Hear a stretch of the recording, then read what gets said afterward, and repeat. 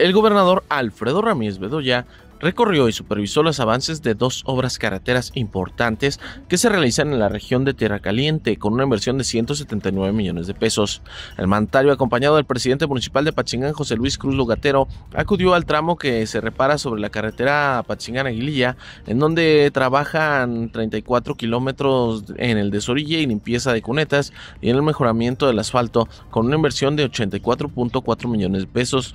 En este lugar, el gobernador también visitó una planta de asfalto. Posteriormente, Ramírez Bedoya supervisó los avances de la carretera Buenavista-Peribán, acompañado de los alcaldes de Peribán, Alfredo Arroyo Arroyo, y de Buenavista, Sergio Baeza Torres. En este tramo se contemplan reparar con carpeta asfáltica un total de 50 kilómetros con una inversión de 94.5 millones de pesos. Informó para el 113 Javier Magaña.